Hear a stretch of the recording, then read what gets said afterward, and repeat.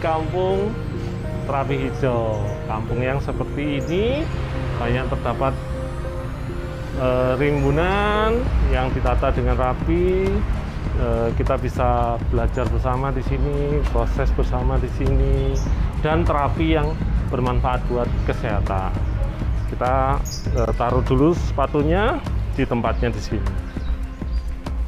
Jadi kenapa kita harus melepas sepatu supaya kita mendapatkan manfaat dari batu terapi yang ada di sekitar kampung kami.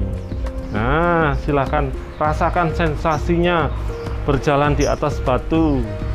Nah, kalau tidak pernah rasain, sekarang dirasa no. Ini namanya batu terapi, batu terapi yang hampir seluruh kampung di sini disiapkan batu terapi. Tujuannya untuk memberi manfaat terapi bagi warganya. Di kampung ini disebut sebagai kampung terapi hijau.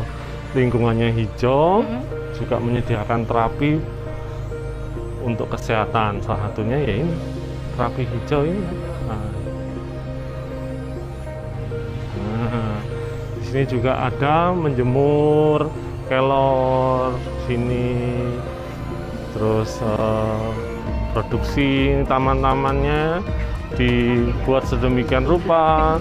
Ini juga diperjualbelikan ini. Taman ta- tanaman-tanaman ini. Biasanya ngambilnya eh, itu di apa itu pasar bunga splendid. Nah pasar bunga splendid itu ngambilnya dari sini. Sekian varian tanaman. Itu. Jadi kalau rasa enak ya enak banget.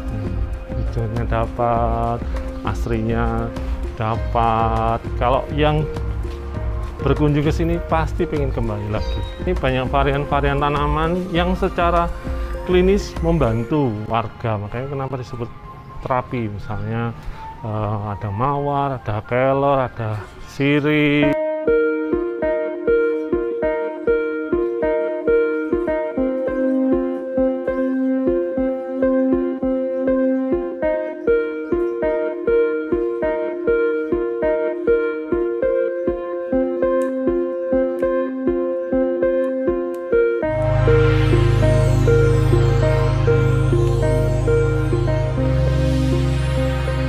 Baik, nah di sini kalau mau istirahat setelah capek keliling kampung itu bisa di sini sekedar melepas penat atau mau sholat ibadah.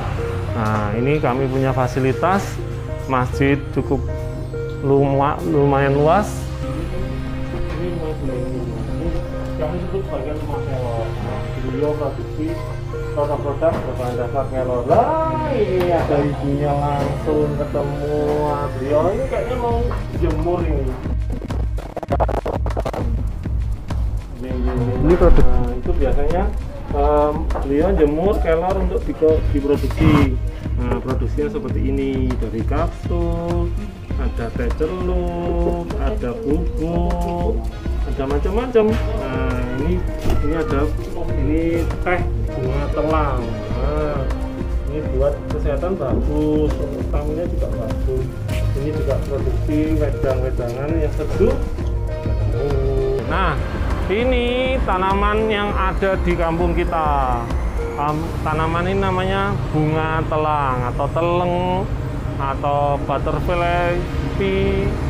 Ya, ini dibuat minuman. Nah, yang tadi diminum itu asalnya dari bunga ini. Diseduh pakai air panas, warnanya jadi biru. Langsung jadi biru. Ini manfaatnya banyak. Ini tanaman ini di- bisa di, semua bisa dikonsumsi dari daunnya, bunganya, akarnya, buahnya. Ini buahnya. Kayak polong-polongan tuh kayak apa namanya? Eh, ercis. Nah, ini seperti seperti itu. Bunganya. Ini setiap hari berbunga. Nggak pernah berhenti. Jadi tidak khawatir untuk gagal panen. Nah, monggo coba diambil? Ah, tuh, gitu aja. Tuh. Bunganya tidak berbau wangi, tapi manfaatnya wangi sekali. Tuh, Ada di sini. Di sini juga ada rumah batik, rumah batiknya Bumi. Nah, Tiap batik itu pasti ada uh, ciri khas kami itu ada entah itu daun atau buah dari pohon sukun. Bagus banget ya Bu ya. Kalau Iya. boleh ya Bu ya saya buka Boleh, ini. ini batik tulis. Hmm, batik tulis. Bahannya juga adem banget. Ya, seadem kampung kami. Nah, itu produk dari UMKM kami, kebetulan juga ada di sini. Jadi kami batik, ada penjahitnya juga. Terus zamannya topi-topi kayak gini. Iya, itu ada maskernya satu set. Kenapa batik tulis itu kok mahal? Karena kita handmade. Seperti ini prosesnya nggak hanya satu hari, bisa sampai dua bulan, tiga bulan seperti itu. Kalau mbaknya mau nyoba batik, monggo. Bisa merasakan pembatik itu seperti apa Sulit sih? kayak nyebut aku dulu. Ini kan motif utamanya buku malang sama topeng. 45 derajat. Tiga empat puluh lima derajat.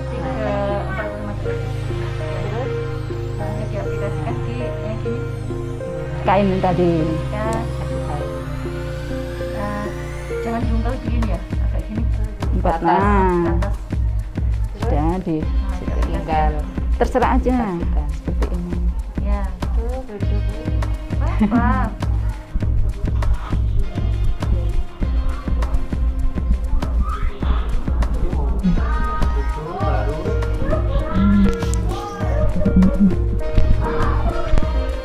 Ini adalah aktivitas ibu-ibu di wilayah RW 03. Eh, kami kegiatan rutin yaitu membatik batik tulis. Eh, kita selain melestarikan budaya juga untuk pemberdayaan ekonomi di wilayah kampung kami. Eh, di sini untuk batik tulis karena kami di wilayah sukun, jadi motif tiap batik kita itu ada selalu ada motif dari pohon sukun, entah itu buahnya, daunnya, atau batangnya. Seperti ini. Ini buah sukun yang sudah kita ini daun sukun. Jadi motif apa pun produk kami itu selalu ada dari pohon sukun. Seperti ini. Tiap produk kami ada filosofinya. Seperti ini. Ini parang dan topeng kami memakai topeng eh, Dewi Sekartaji dan Raden Panji. Nah, parang sendiri itu berasal dari nama pereng yang artinya itu semangat yang tidak pernah padam. Seperti itu. Dari produk batik kami itu menghasilkan beberapa eh, pernik-pernik seperti contohnya masker, hand sanitizer, satu paket di sini. Ini ini tempat apa? Sendok. Sedotan itu. Ada juga di sebelah situ topi. Dari batik juga. Topi masker. Nah ini ciri khas kami juga. Di sini ada teratai yang ciri khas kota Malang. Topengnya juga.